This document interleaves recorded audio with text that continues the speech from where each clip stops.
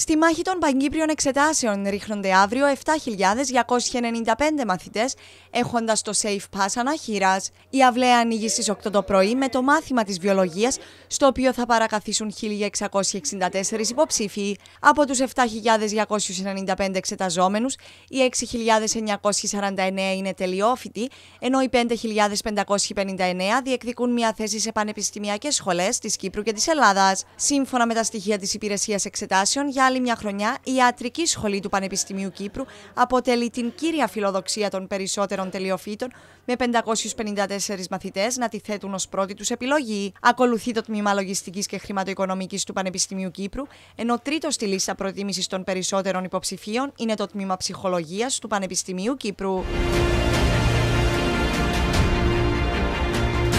Υπό ιδιάζουσες συνθήκες θα πραγματοποιηθούν και φέτος οι παγκύπριες εξετάσεις.